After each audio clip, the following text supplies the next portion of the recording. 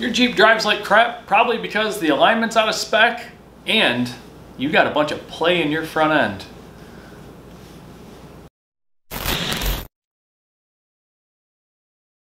I got a message to do with some videos about industry jargon, kind of making it so you can speak a little bit more knowledgeably when you're uh, talking about suspensions. Now, play. Play is a word we use all the time. We're going to say, yep, you got play in your ball joints, play in your tie rod ends, we got play in this bracket or anything like that. What we mean by play is really looseness. So a lot of the times any like ball joints or tie rod ends, they're, a, they're gonna have a machine tolerance inside of them. And a lot of times you can think of it kind of like a shoulder socket or a hip socket or anything like that. So we're gonna have a ball and then a socket. And what can happen is you can get either rust inside there wearing it down or over time it can actually just wear into the materials themselves. And then what happens is, is the tolerance gets looser. And that's what we're talking about. When we start seeing that in out on a tie rod end and it starts moving out there, we're say, hey, yes, it's got play in it. Well, that's what we really mean is a looseness in that joint. And hopefully that explains a little bit. Next big one you're gonna hear all the time is spec. So spec, what that really is, it's short for specification. When the vehicle's designed, um, the engineers are gonna have a specification for what they wanna see for the alignment quality of the vehicle which that is, is if we have all four wheels, fronts this way, we got our wheelbase, which is from the center of the wheel to the center of the wheel, each side.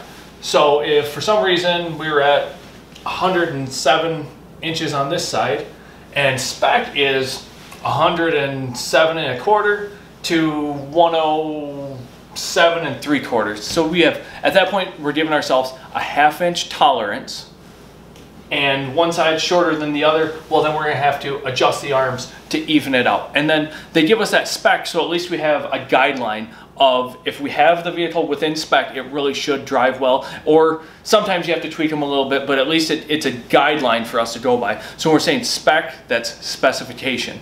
Now, obviously we have wheelbase, that's from center of the hub to center of the hub. Up here, between our front steering tires, right there is going to be measured in toe. We're going to have toe in when the when the front wheels point in towards the center of the vehicle, toe out when they're pointing out towards the outside of the vehicle, obviously. That's going to be measured in uh, degrees right through there. And then we're going to measure the vehicle crossways on the alignment rack.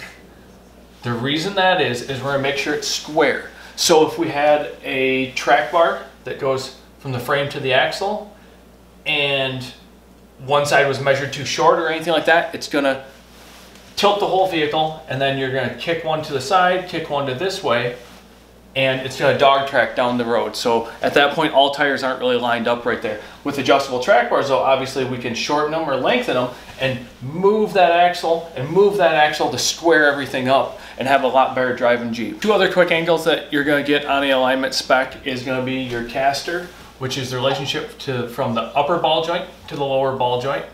And if this is the front of the vehicle and we kick it out this way, that's positive caster. Going to the rear, like a shopping cart, is going to be negative caster. Obviously, we're on, when we start adjusting, we're going to aim more on the positive side to get to drive a little straighter. The uh, next one is going to be camber. Camber, for the most part, on most Jeeps is not adjustable unless through like putting different ball joints in or something like that, where you can actually adjust it. Now, camber, what that is, is if you're looking at the tire, that's a tilt of the top of the wheel in or the top of the wheel out. The most common way to adjust your camber on the front of your Jeep is to bend the front axle. Or if you have some, oh, play, place. If you have some looseness in the ball joints, and we have a ball joint right in here that's loose, that tolerance that, or that, that looseness right there can tilt the wheel a little bit. And that can give us kind of a hint that we should really check out the ball joints, to make sure they're tight and they don't have any looseness or play in them.